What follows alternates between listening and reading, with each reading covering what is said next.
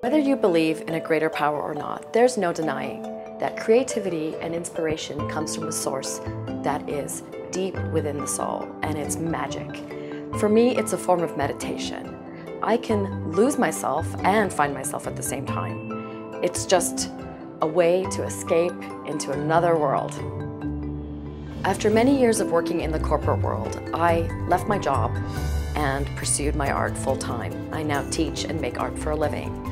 That goal was on my vision board eight years ago. I did a vision board that laid out what I wanted in life, and I worked to make it happen.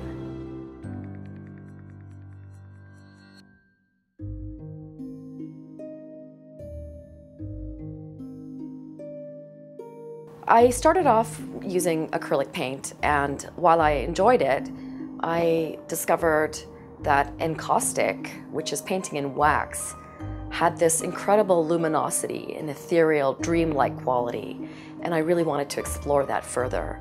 It gave me the opportunity to use photography, drawings. I, the sky's the limit. There are so many possibilities with this medium, and it really lends itself to a very dreamy, atmospheric quality. Creating art and teaching art has been my life's passion and my dream, and it's come true. And one of the things that I love doing is holding these workshops. I get to help people create their vision. There's no such thing as perfection with art.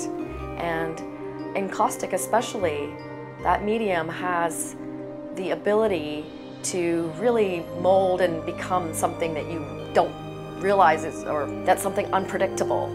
It's not that easy to control or manipulate. So we have to learn to let go when we paint in wax for sure. The subconscious mind really does not know the difference between reality and imagination. So if you wake up and you see every day motivational, inspirational words, eventually that will seep into your psyche and you will make your dreams come true.